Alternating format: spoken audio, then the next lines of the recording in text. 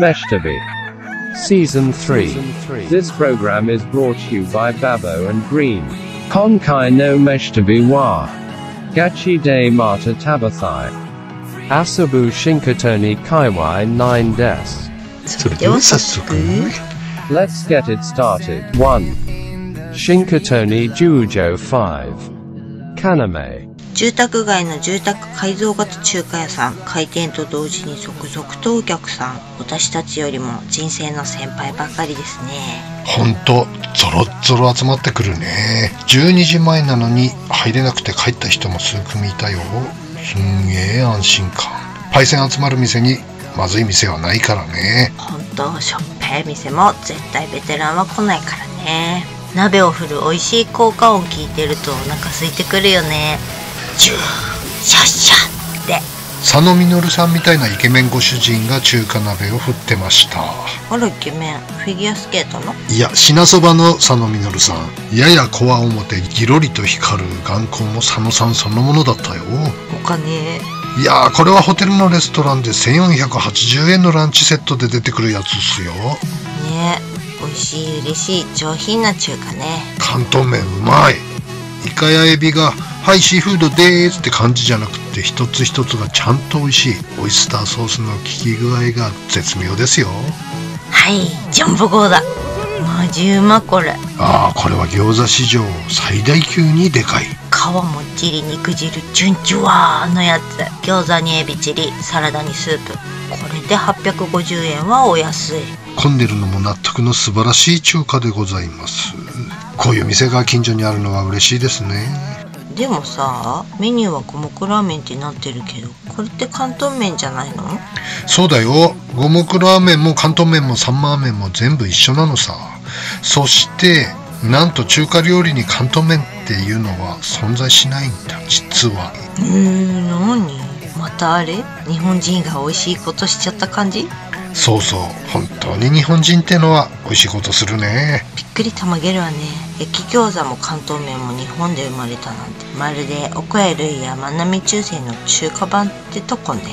これは見つけたぜ。でもあんまり宣伝したらご近所さんが食べられなくなっちゃうかもだから。あまり大きな声では言わない方がいいね。そうね。四国民しか一度に入れないお店だからね。2. Shinkatoni Nijo 11. たまたま通りかかって行列だったので気になって Google 先生に聞いたら小樽の人気スイーツ店アンデリスさんの新店舗今年の3月オープンの出来たてほやほやでございます。プリン大福？なんじゃそりゃってことでやってまいりました。大福といってもまあ牛皮なんですけどね。牛皮は米粉や白玉粉に水飴または水や砂糖を入れ練り上げたもので大福や練り切りすわまなど定番の和菓子にもよく使われています。ほんのりとした甘さともちもちした食感が特徴ですね。これ大福史上一番ポニョポニョしてますね。スライムみたいでちょっと食べるのに苦労しますが苦労しがいがある一品っす。プリンをポニョポニョの牛皮がひゆひゆしプリンがポニョポニョの牛皮をプリンがポニョポニョの牛皮を包んでくれるから全体のものすんごいぷよんぷよん。ちょっと何言ってるかわかんないですしいな。プリンをポニョポニョの牛皮が包んでるから全体がものすごいぽよんぽよん。私のおっぱいより柔らかい未体現存スイーツですね。これは。プリンがカスタードのようでもあり面白い食感だね。あんこが入っててもうまそうだな。ここにしかない唯一無二のプリン大福。お土産にもいいねこれ。これは喜ばれるわ。私にもお土産で買ってきてね。サムタイ Sometime. もちもちもちろんさ白いカスタードも超美味しいの。甘すぎなくていいねこれ。これもプリンなのかな？プリンの一番カスタード際って感じ？札幌で言うと南三条西4丁目って感じかしら。あなるほど。踊りのギリススキノじゃないススキノ際ってことね。んだ。3. Asabu Nino 4. Hokuzan Liu. 麻布の超複雑な五差路交差点から近い旭川ラーメン。麻布の超複雑な五差と交差点から近い旭川ラーメン。悪化した。悪化.麻布の超複雑な小サロ交差点から近い旭川ラーメン。なんと着てみて分かった加藤製麺じゃございませんか？こりゃ嬉しいごさんしかも店主が女性。これは期待大ですね。なんともうわわですねおじさん。鼻息荒いわよ。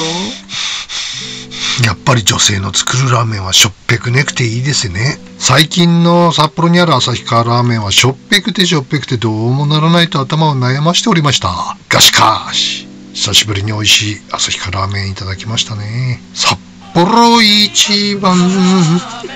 札幌一番の旭川ラーメンですね。これは。ここのとこノーネームとか.アドシュガーとか.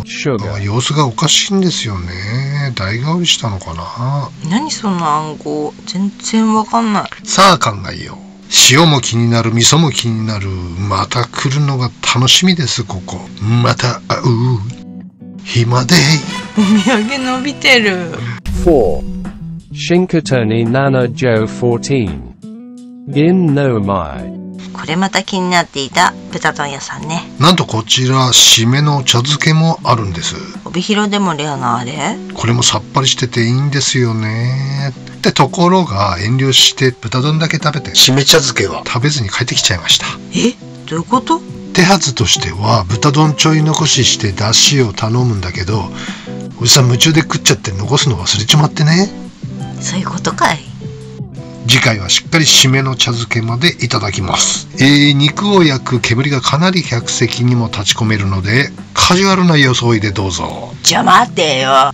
煙たく？うまいね。で味はどうなのよ味は。あータレがうまいっすね。ジャッパジャパでもがっつり書き込めるタレ。こりゃ美味しい豚丼ですよ。それを早く言って。5. Shinkatoni Gojo 12. Kenon. 街に突如現れる。可愛いベーグル屋さん。桜満開でなまらタイミング良かったね。はい、なんとこちらはカレーのボンさん。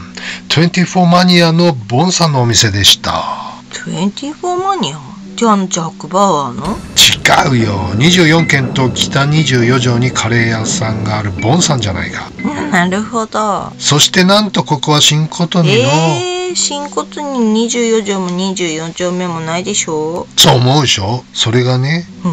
5条12丁目なんだけども番地が5の17で電話番号も至って普通だったんだ。残念だね。なんだこのくだりどうやって一人で3軒ものお店を切り盛りしてんだろすごいビオフェルミンね。うそれを言うならバイタリティだろ Vitality. 美味しい人はやっぱり美味しいのね。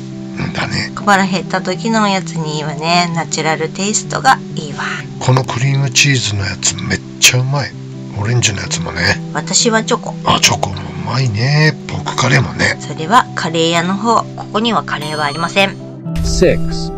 Shinkatoni Hachijo 1. Tewuchasaba Kokoro. 2019年12月にオープンした10割そばがいただけるお蕎麦屋さん。時期によって最高のそばの実を厳選し毎日ひいてつなぎを使わずに売っている10割そばがいただけるんです。おお10割なんだ。攻めてるね。他にも土鍋で炊く鶏五目や天丼セットなんかもあるよ。ほえー蕎麦屋で米押しっていうのは珍しいねラーメンライスはあっても蕎麦ライスってのは聞いたことないもんね。土鍋ご飯はさぞかし美味しいんだろうな。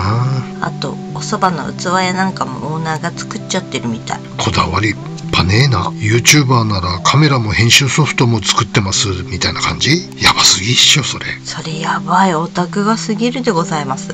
ね。心さんではいろんな産地のお蕎麦を楽しむことができるんよ。えー、ほろかないとか板別とかかい？それがね北海道だけじゃなくって全国区なの。今回は埼玉県三好大地と福井県福井在来種のブレンド。10割の細切りで美味しいお蕎麦。梅もとろっとしちゃる。毎回違う産地の10割そばがいただけるっちゅうわけ。そりゃ楽しいね。新ことにそんな粋な蕎麦屋があったんだね。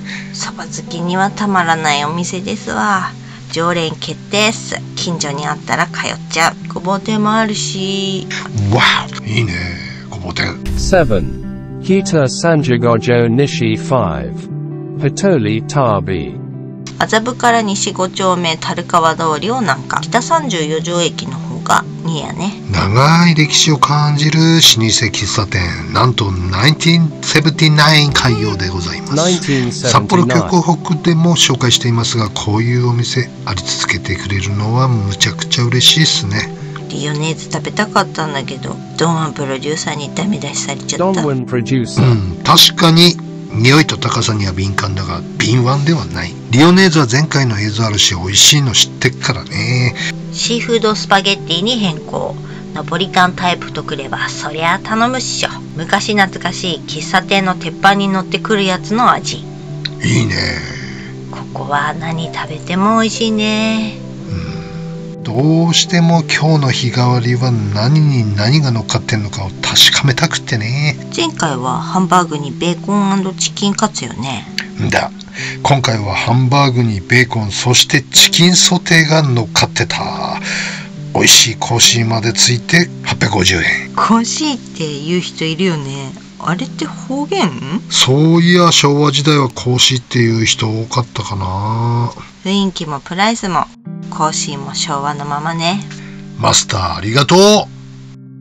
8北42条東1 和楽本店ここも私たちが信頼するお寿司屋さんの一つたまに利用させていただいております。いつもは24件の試乗店ですが、今回は本店初見山でございます。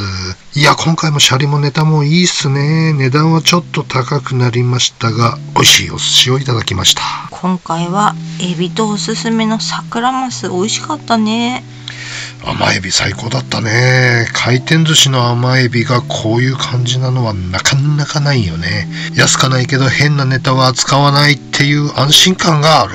桜マスがこんなに美味しいだなんて。桜マス美味しい。ちょい高いけど価値あるわ。やっぱバラクさんは酢飯がお気に入り。どこよりもしっかり酢が効いてて。すすきの私にはたまらないお寿司ですわ。すすきのじゃないわよ。酢よ。酢。でもまあこれは好き好きありますんでね。はい。シャリ加減、海苔加減、ネタ加減、どれをとってもグルメ回転寿司のトップレベルかと思います。ん。だ。そう好きだね。そういえば川田ステップめちゃめちゃうまいね。9. Kita Sanjigojo Nishi 8. Sango Stock. ママやマダムに大人気のカフェねおしゃれにストーブ鍋のランチでございます。こちらも札幌極北で紹介したカフェですね。こんなところにこんなこじゃれた施設があるとは全くノーチェックでしたね通りすがりにマダムたちが行列なしてるのを見て偶然見つけたお店でしたね。ただなんとなくカフェとかじゃなくてきちんと説得力ある主力商品があるのがいいですね。2階は子供の遊び場になっていて子供たちが遊んでました。ママたちも安心して旦那の悪口合戦に没頭してたようですね。やっぱママやマダム集うと旦那のはだやっぱまだやっぱママやマダムやっぱママやマダム。なんか言うね。やっぱママやマダム集うと旦那の悪口なの？そういうもんなん？うん私はお友達とお茶してても飲みに行ってもパパのこと愚痴言ったり悪口言ったりしたことないわね今のところは心に秘めてるだからお酒はあまり飲まないようにしてるの爆発しちゃいそうだからやっておっかねえ 次回の飯旅は Tukaino Meshitabi wa. Gachi de Mata Tabathai. Ni Juyonkan Kaiwai des. Otanoshamini. See you soon. 高校の時麻布を通ってってたらね、ひふみの T 君がねはい。早打ち T 君がね あのヤンキーに囲まれてたの、アザブで。うん、アザフで。10人ぐらいの。うん。他校の生徒たちに囲まれて「おいどうしたどうした?」なんか絡まれてるんだって言うから なんかどんだけ真面目なやつをに絡ん絡んでんなあんたたちって言って、いやけ揉めたいんだったら、いくらでも殺傷北海の喧嘩大好きなやつら紹介するぞって言ったら、うん。去っていった。やばいそんなにやばいんだ。殺傷北海。噂にはけど確かなに何こんな真面目なやつに絡んじゃってんの？みたいな。ちょっとね綺麗な彼女を連れて歩ってんのがああ尺に触ったんじゃない？T な君が。1分23秒のくせにって。それ知ってるわけないっしょ。なんでお前がそんな綺麗な可愛い子を連れてるんだ的な。